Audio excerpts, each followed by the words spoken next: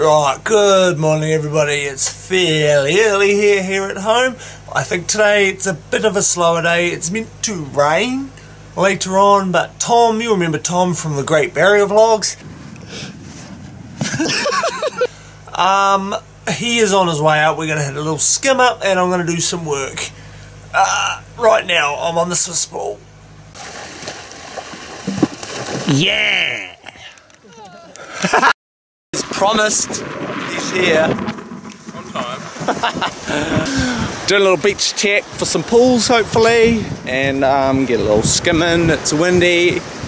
Conditions are absolutely pumping. It's huge. So we'll find Pretty frightening. something. Do we have a life jacket or something? do you think of today's skim conditions? Excellent. Excellent.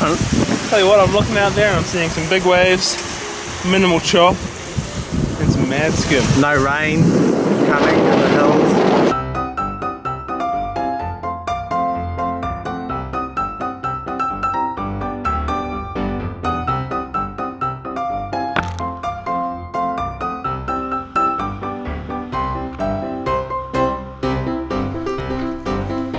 What do you want? Like a clap push up? What are you asking? Yeah, that, that's right. Handstand shove. Yep, one.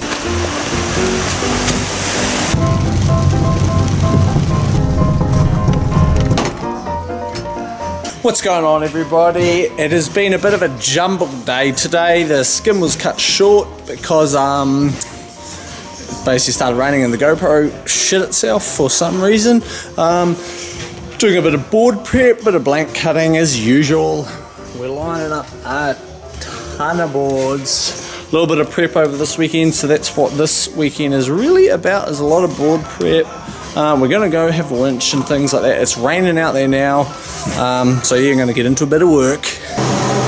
Right, I got the one board glued together that I had to. I've now got this little, just a little stack of Gromlins uh, primed that I'm going to paint with a new colour that I had called. I got even got to name it. Uh, it wasn't quite spot on to what we are going for, but it is called Turd Red. So we'll be getting into that in a minute.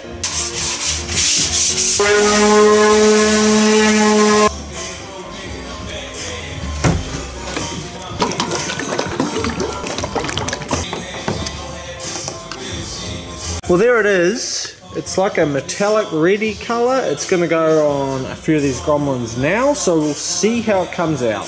Basically, for this this season's product, I did really want to kind of stay away from just your conventional blue, green, and kind of the matching of the traction colours. That's why I've gone with that metallic purple, and now this kind of metallic-y, reddy, w- weird colour.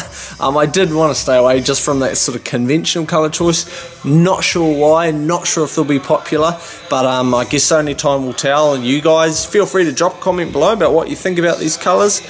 I like them so far, but I'm not sold on the idea.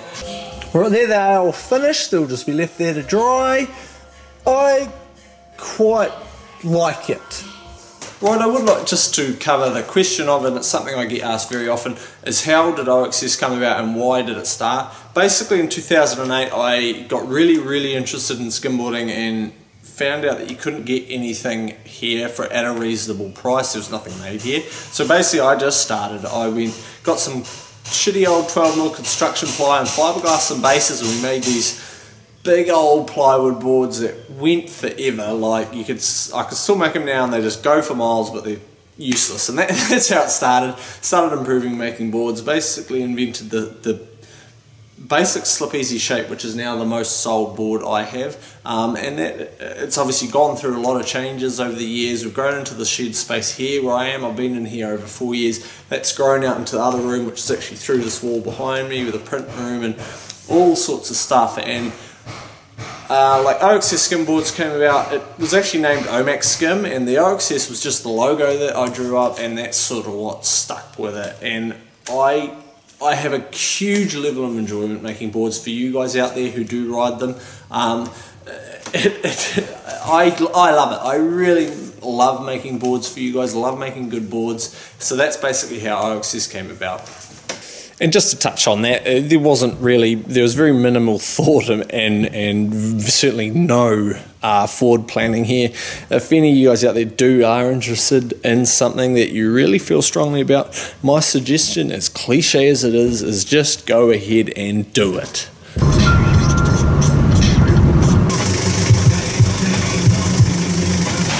This is our attempt at Rocket fuel. rocket fuel. I was trying to think of something a bit more Subtle. the other one innocent. Tim. He's going to be on Brownies. the wanted post. Brownies. Hell no.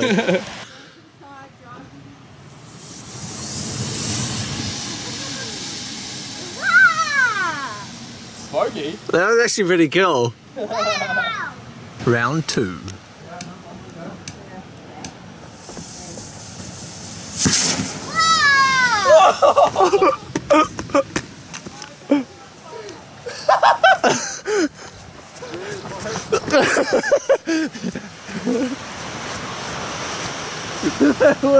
Where'd it go? Straight in the tree?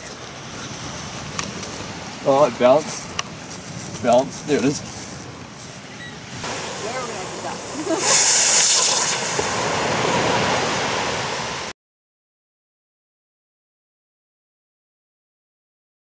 Right, that's a bit of a wrap for today's vlog. I won't tell you exactly what we were doing before, but um, it's been quite a fun day. It's still very early, but I'm going to get to bed. The, the weather's actually cleared up out there, so we might possibly get up early for a good sunrise shoot. If not, I'll be doing it Monday because I've got a couple ideas up my sleeve at this interesting spot. Um, it's board work tomorrow, probably all morning, and then we're going to hit a winch and sort of skim up in the afternoon. So that's going to be fun. We'll shoot some good footage from that. I am Sam Price. I will see you at the beach. One with blue and green, one with the red and yellow. Very similar pattern, top and bottom sheets of Formica. The interchangeable board char- characteristics layer of number one on the medium and number two on the large. We also have in production this